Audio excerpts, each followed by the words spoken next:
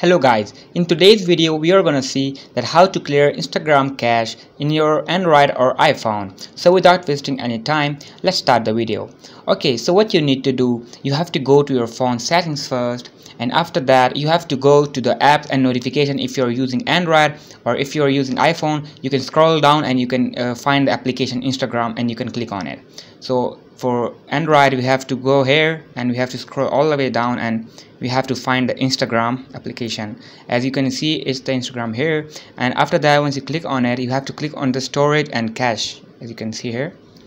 After that you can see this clear cache option here. So if you click on it it will be all cleared. And the second option for that is that you have to go and you have to delete this application and you have to reinstall it from the play store. So that's how the instagram uh, cache will be cleared.